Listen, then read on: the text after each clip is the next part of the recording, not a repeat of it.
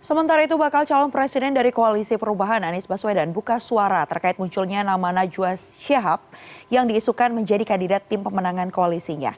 Hal itu merespons bocoran dari bacawa pres Muhammad Iskandar yang sempat menyebut jika Najwa merupakan nama kandidat ketua tim pemenangan dari Amin, Anies Muhaimin.